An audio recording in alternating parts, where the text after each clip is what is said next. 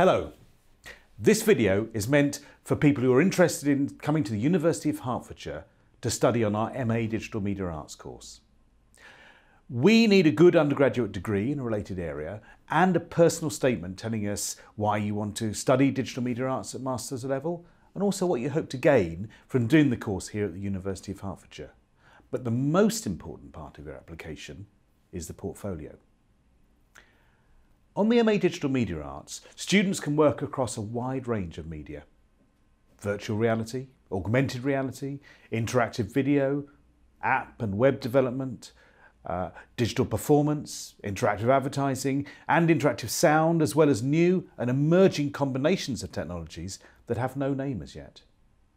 This range of content means that it can be very difficult to decide what sort of portfolio you need to produce when you're making an application to us. Firstly, we like to see your work online, ideally on a portfolio site such as Behance or ArtStation. You may want to pre present video documentation of your projects on a site such as YouTube or Vimeo. Whatever sort of work you put in your portfolio or show reel, you should aim to provide something that will need around 5 to 10 minutes to see it all.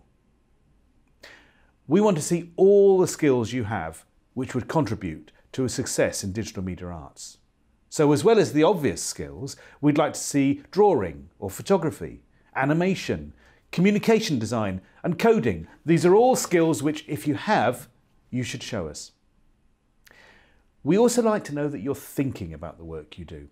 So please do talk or write about how you've gone about the making process, how you made decisions about the overall design and the specific details of implementation.